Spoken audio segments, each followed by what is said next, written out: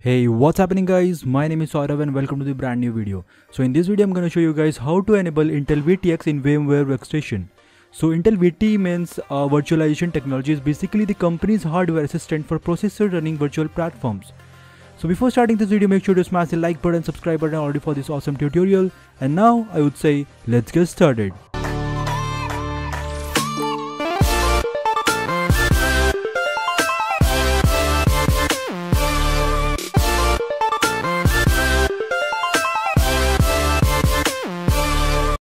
Okay guys, so now let's open VMware Workstation. Uh, so I don't need to uh, create a new virtualization because I have already load uh, Ubuntu to it. Uh, so let's power on this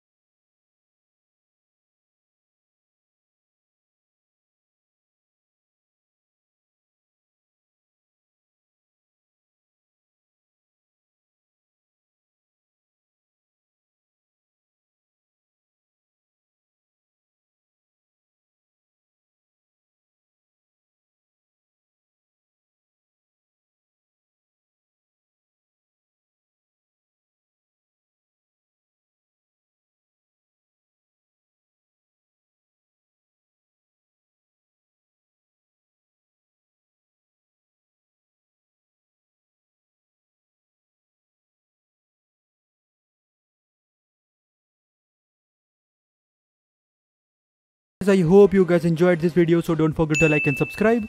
Until then it's Sourav here, stay happy and love to learn new life hacks regarding technical difficulties. Bye.